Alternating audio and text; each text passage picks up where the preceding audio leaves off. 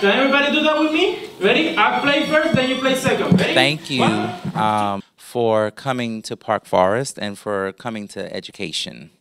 Uh, we really appreciate it. And I don't think that the students know just how fortunate they are to have you. And the fact that you're able to just interchangeably speak in Spanish and then in English and relate to all your students at the same time. You are going to be the feature teacher for the week.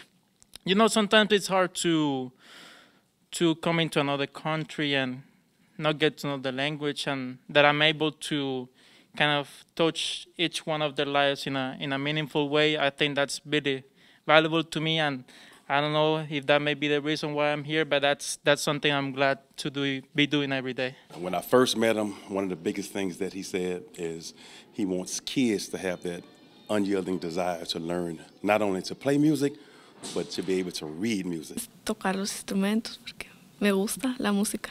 tocar. Toca, just play just play he likes to play We're getting to know more instruments. He is good teacher to me. Don't give up and don't give in. Uh, we recognize your hard work and your effort and keep pushing and keep pressing forward.